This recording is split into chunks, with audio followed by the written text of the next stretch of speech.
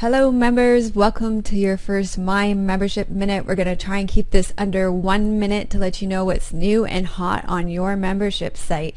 So, the first thing is a brand new video for cyclists that I'm not sure everybody's seen.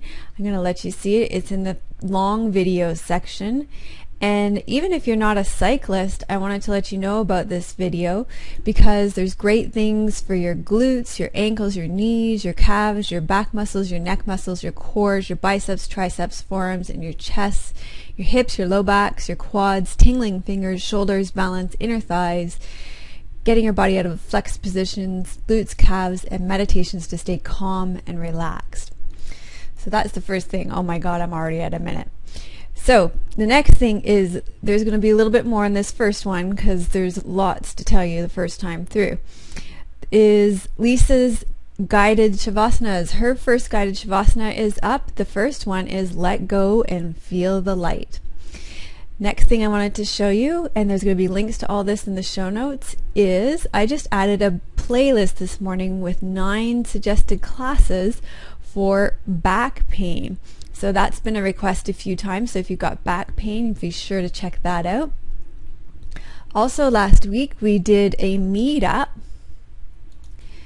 for our Navratri challenge, and that's under the weekly challenge section. So if you go here, under the weekly challenge, we had a special challenge, and here's the video recording for that. If you go all the way to the end, there is an article we posted, and there you can listen to that challenge. If you listen all the way to the end, we did a great, uh, there was a bonus where we talked about some great herbal tinctures and infusions.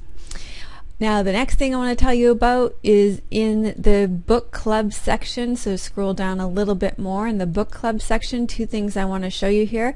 Uh, Molly and I released the intro to the Bhagavad Gita section. There's some questions here for you to get going on that and a reminder about our meetup for that on November the 9th.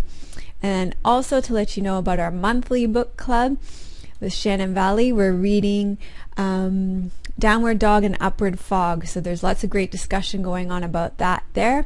And one last thing that I wanted to share with you is a brand new retreat coming up that Sue Medeiros and I are running on the site mindful compassion in your relationships. So that's it. That's it for me. I kept it to under three minutes. Not bad for the first one. Next one will be one minute i promise